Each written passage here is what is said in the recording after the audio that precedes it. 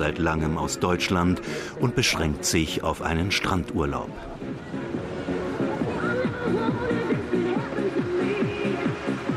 Doch die Zahl derjenigen, die eine Rundreise durchs Land buchen, nimmt zu. Wegen der Vielfalt an fernöstlichen Reizen auf engstem Raum gelten diese Reisen auch als idealer Einstieg für alle, die es nach Asien zieht.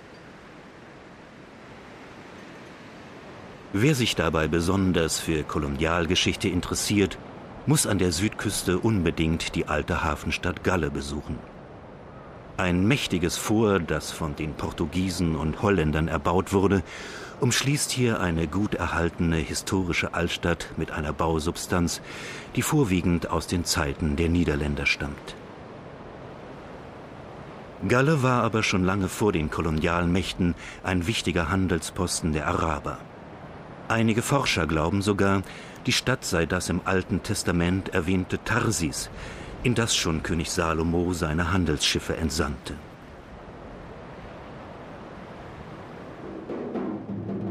Von den Zeiten kolonialer Herrschaft erzählt hier auch das alte pantomimische Maskentheater der Küstenregion.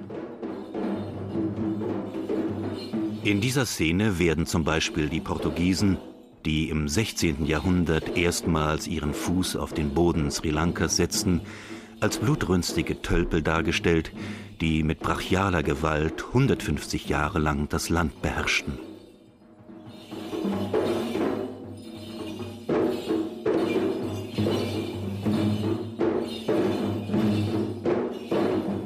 Das Tanztheater der Südküste will einerseits Brücken zwischen Vergangenheit und Gegenwart schlagen, Andererseits erzählt es aus den alten Mythen und Legenden wundersame Geschichten von Göttern, Königen und Dämonen.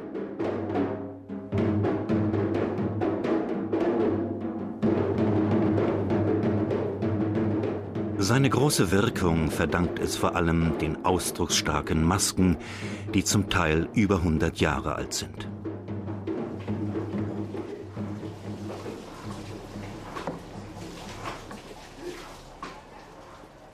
Zum Schnitzen der Masken verwenden die Profis am liebsten das weiche Holz des Kaduro-Baumes.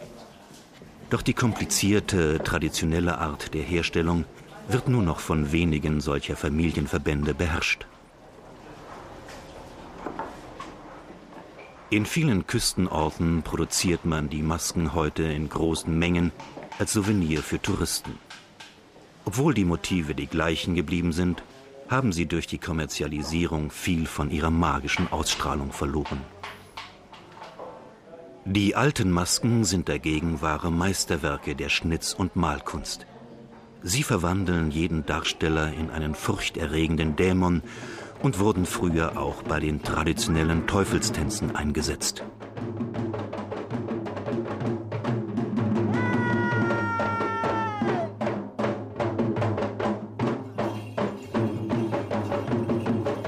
Solche Zeremonien sind heute an der Küste nur noch selten anzutreffen. Die Dämonen, die ein Priester herbeiruft, müssen dabei mit Opfergaben dazu gebracht werden, die bösen Geister aus dem Körper des Kranken zu vertreiben.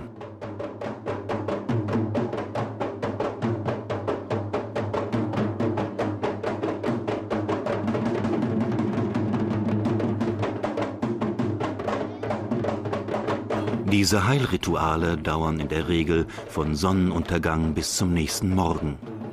Und sicher wirkt sich auch der zeremonielle Aufwand, der für den Patienten erbracht wird, positiv auf seine Heilkräfte aus.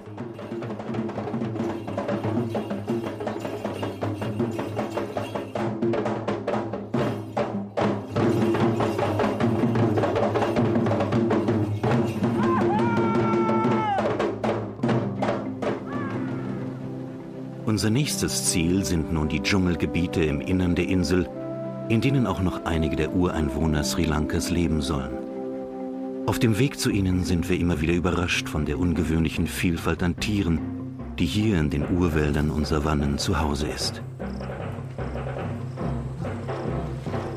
Sicher liegt es auch daran, dass ein Zehntel der Inselfläche als spezielle Rückzugsgebiete für sie zur Verfügung stehen.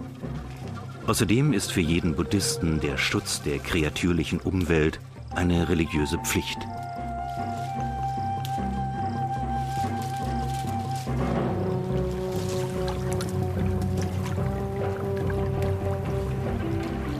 Von diesen Dschungelgebieten lebte einst auch das Jäger- und Sammlervolk der Wedder. Doch nachdem bereits ein Großteil ihrer Wälder einem ehrgeizigen Bewässerungsprojekt weichen musste, wurde auch das letzte verbliebene Stück Wildnis in einen Nationalpark verwandelt. Die vertriebenen Wildbeuter mussten sich größtenteils zu Bauern umerziehen lassen, und ihr heiliger Berg, der wie ein riesiger Elefant aus dem Dschungel ragt, ist jetzt nur noch ein reizvolles Fotomotiv für Touristen.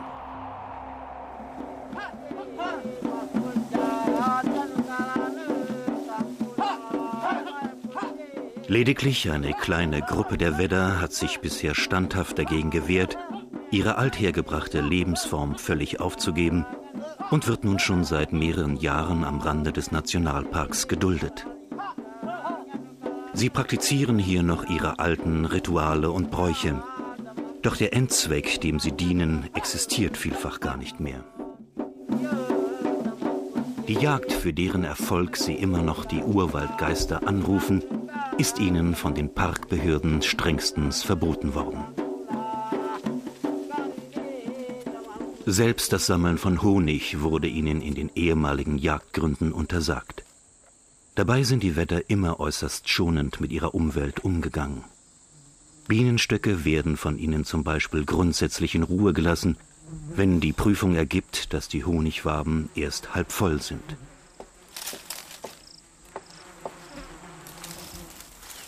Völkerkundler glauben, dass die Wedder zu den Draviden gehören, die einst auch Indien als erste besiedelten. Seit die Singalesen und Tamilen vor ungefähr 3000 Jahren von dort nach Sri Lanka kamen, vertrieben sie die friedlichen Jäger und Sammler immer mehr ins Innere der Insel. Heute gibt es schätzungsweise nur noch 4000 Wedder, und die meisten von ihnen werden in die Umerziehungsdörfer der Regierung eingewiesen, oder vegetieren in Notunterkünften dahin. So sind die Mitglieder dieser Sippe vermutlich die letzten, die noch wie ihre Vorfahren zu leben versuchen. In stehenden Gewässern praktizieren sie sogar noch die alte Art des Fischens. Dabei betäuben sie die Tiere durch leichte pflanzliche Gifte, die sie im Wasser verteilen. Die Fische werden dadurch so langsam, dass man sie auch mit der Hand fangen kann. Doch die meisten Gewässer im näheren Umfeld sind so überfischt, dass sie kaum noch proteinreiche Nahrung bieten.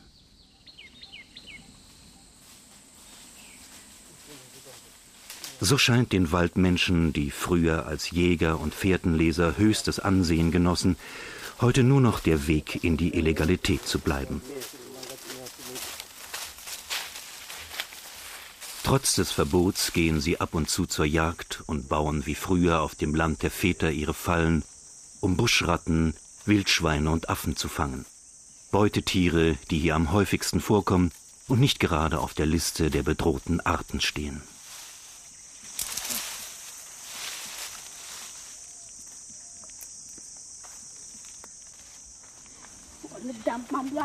Seit der Vertreibung aus ihren Jagdgründen im Maduro-Gebiet leben sie in dieser winzigen Siedlung in der Nähe des Dschungeldorfes Dambana.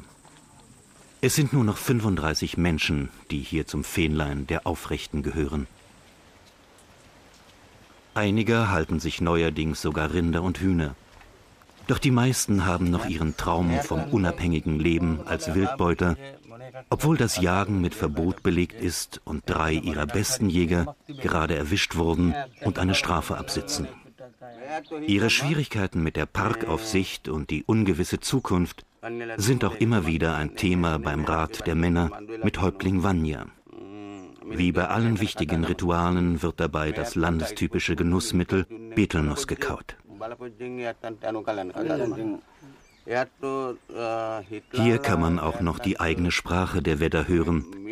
Doch der Häuptling weiß, dass es diese Kultur schon bald nicht mehr geben wird, wenn die Regierung sie weiterhin aus dem Land der Väter aussperrt. Die Wedder haben in dieser Region bereits vor Tausenden von Jahren Honig gesammelt und von der Jagd gelebt. Deswegen war es ein großes Unrecht gegen unser Volk, dass man uns vor circa 15 Jahren verboten hat, den eigenen Wald zu betreten.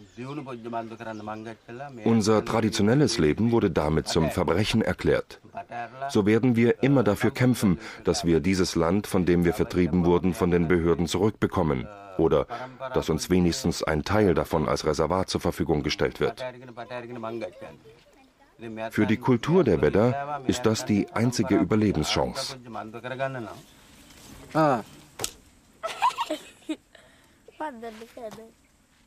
Obwohl man nur allzu gut verstehen kann, dass Häuptling Vanya Sippe zum traditionellen Leben im Dschungel zurückkehren möchte und sich so ihre eigene Kultur bewahren will, bleiben doch Zweifel, ob sich solche Wunschträume heute noch realisieren lassen.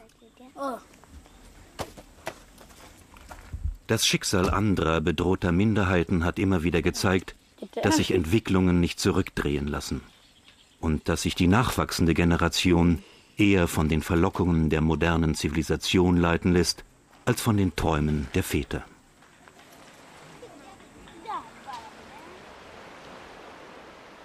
Auch diese Menschen hat letztlich ein großer Traum in den Dschungel geführt. Sie kommen von der Ostküste der Insel und sind fünf Wochen zu Fuß durch Urwald und Steppe marschiert, um an einem heiligen Ort Erleuchtung und Erlösung zu finden.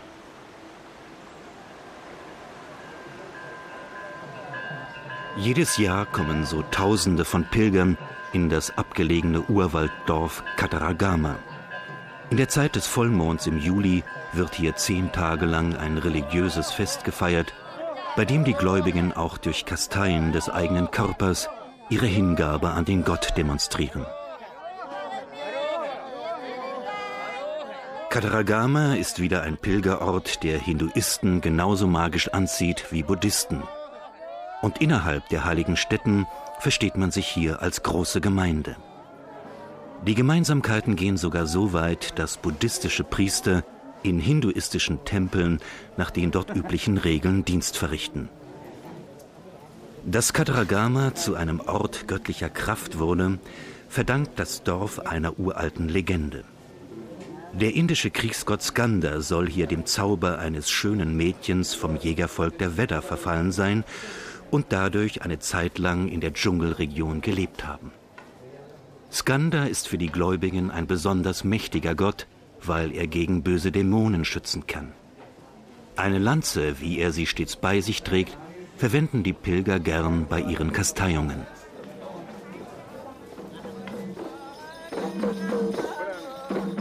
Auch für die Moslems ist Kataragama schon seit Jahrhunderten ein heiliger Ort. Sie glauben, dass hier das Wasser des ewigen Lebens zu finden sei, von dem ihre religiösen Schriften berichten. Zu ihren wichtigsten Andachtsstätten zählen heute die Gräber von berühmten muslimischen Asketen, die sie täglich mit solchen Prozessionen ehren. Während der Festtage herrscht an dem Fluss innerhalb des Tempelgeländes immer Hochbetrieb. Und da sein Wasser als heilig gilt, sind hier rituelle Waschungen eine der Möglichkeiten, um mit den göttlichen Kräften in Berührung zu kommen.